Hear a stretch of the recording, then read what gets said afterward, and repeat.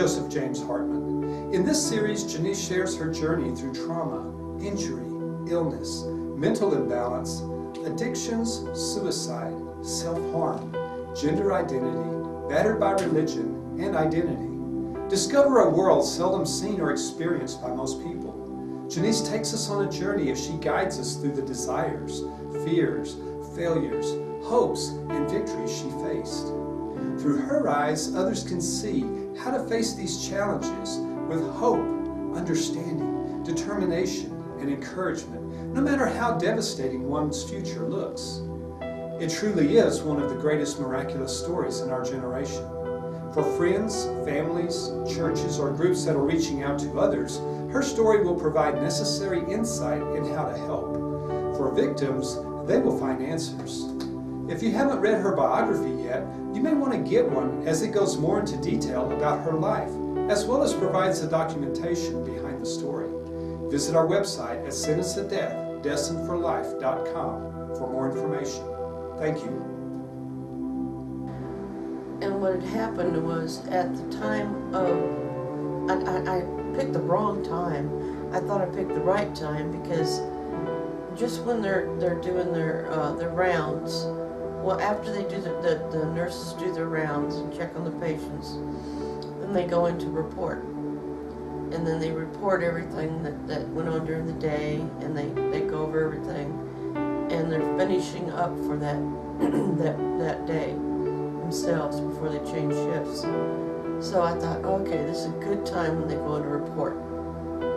There's, and so I went ahead and did that, and evidently I was off on my timing because I kept hearing, open the door, open the door, and I heard some banging, but it wasn't on this level here. It was kind of there somewhere, you know, because I was evidently I was leaving my body, and uh, they were pushing the door, trying to push the door open. My legs were out there in the way. It's a small bathroom, just big enough for a shower, commode, and a sink. And so, uh, pushing on the door, pushing on the door, it somehow it, it brought me back. I wasn't quite gone because they got there just in time to loosen the, the tie around my neck, you know, the, the, the belt.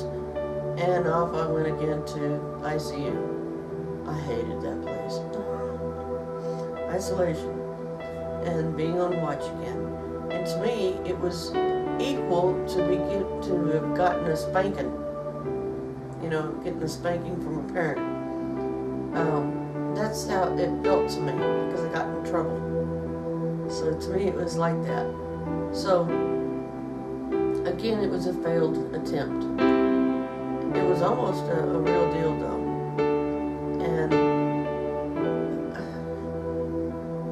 embarrassing. It's upsetting.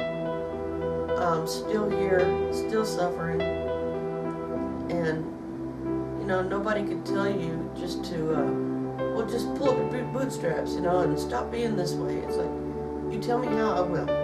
How? How do I not think this way? How do I not feel this way? How do I not be this?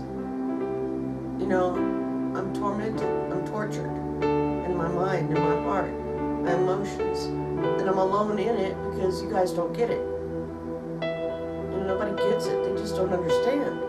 Well, what have you got to be all sad and sorrowed about? And why why do you want to die though? I mean, you know, we understand that you're having a hard time, but why do you want to die? Why do you keep bringing us through all this? Um, it's just hard. It's hard on both sides. And, you know, the people that love you just want you to stop. Will you just stop it? It's like, teach me how. And I will. Uh, I'm just not I don't belong here anymore. There's no place for me. I don't have any life.